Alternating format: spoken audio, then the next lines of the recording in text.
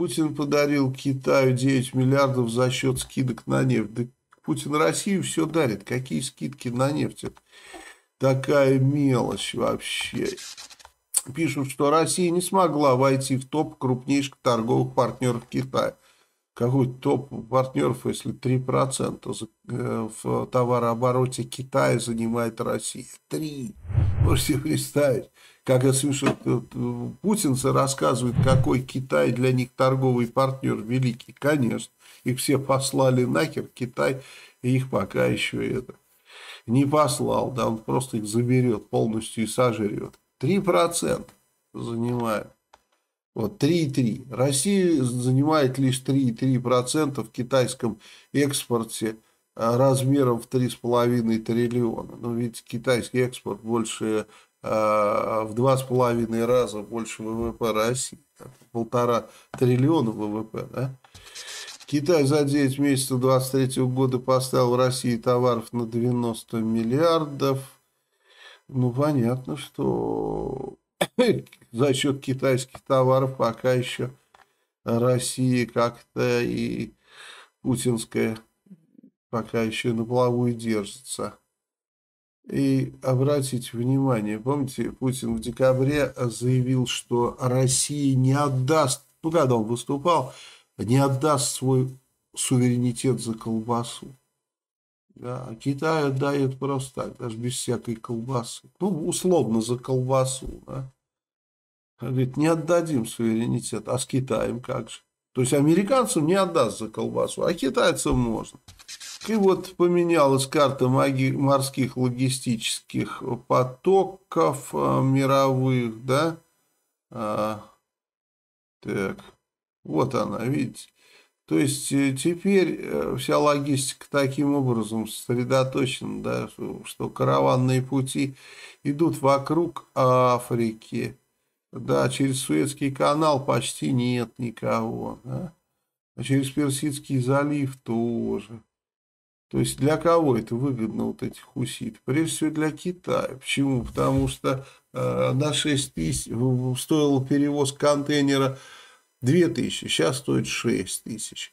Увеличилось там на две недели поход этот. Ну что, за две недели три цены получается. Не надо не грузить ничего, просто дальше везешь и все. Это дистопливо сколько там стоит. Можете себе представить, сколько работы команды, 14 дней и там э, этот, амортизация этого судна. То есть Китай очень здорово стал зарабатывать на этом просто невероятно, поскольку это основное, а, да, он основной, так скажем, перевозчик контейнеров. То есть все легтеровозы, ну, основная масса легтеровозов как раз находится у Китая в руках. И если раньше он демпинговал, и здорово демпинговал, то сейчас раз цены поднял, ну, хуситы, ну, что мы можем сделать? Было 2000, теперь 6. Э, да. Причем обратите внимание, еще раз хочу показать карту, это очень важно. Видите, тут показан просто караванный путь, но не показаны порты Африки, в которые корабли-то эти заходят, чтобы дозаправиться, там, воды взять, я не знаю, и так далее. Но в любом случае они появляются в этих портах. А знаете, чьи все эти порты, а?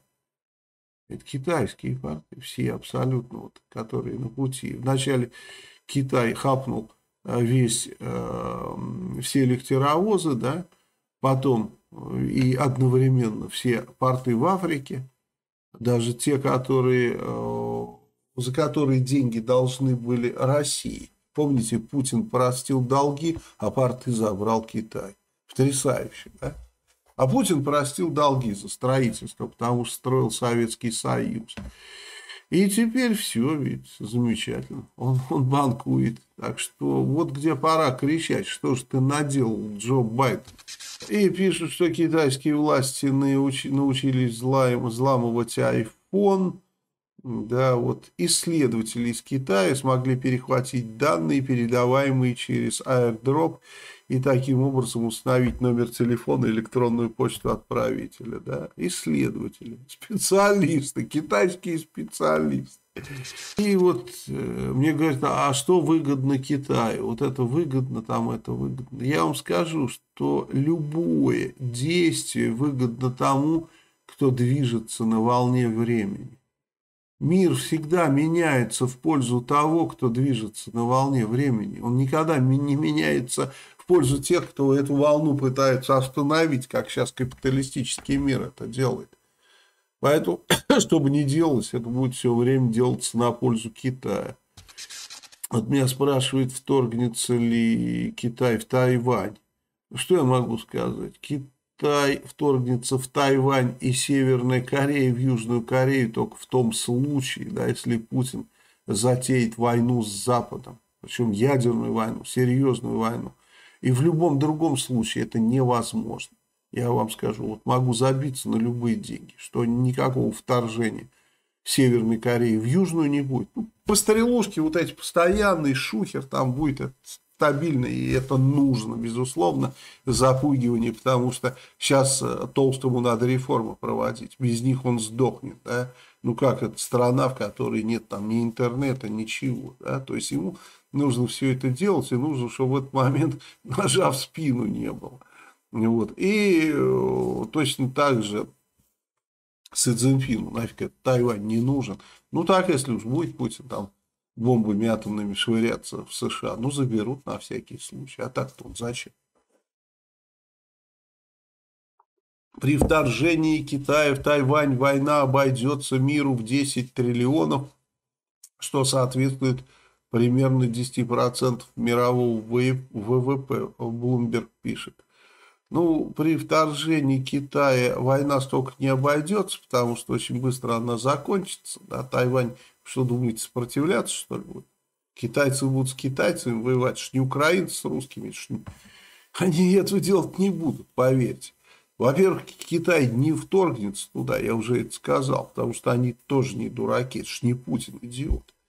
А если вдруг это случится на волне того, что произойдет конфликт там Путина с Западом, там ядерный, да, то Си просто заберет, даже без единого солдата, скажет, ребят, вливайтесь. Они скажут, давай, да, ну, наверное, вот эту херней мы этой занимались, там, картину какую-то гнали, все, прекращаем гнать картину. Поэтому не будет никаких триллионов, не будет никакой войны мира из-за Тайваня, не будет.